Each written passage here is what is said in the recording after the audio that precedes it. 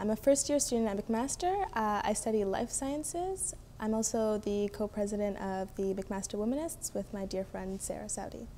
We focus on feminist work, gender-based violence, anti-blackness, Islamophobia, really things that apply in the context of Canada.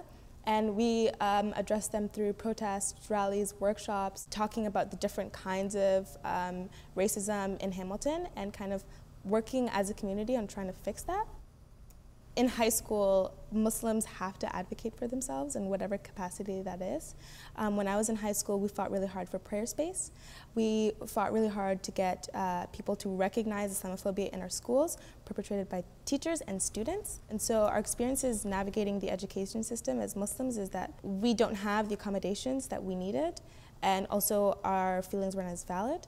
But like we organized as a community it took a really long and involved process of ensuring that there was appropriate um, uh, teacher supervision, which really has never happened before.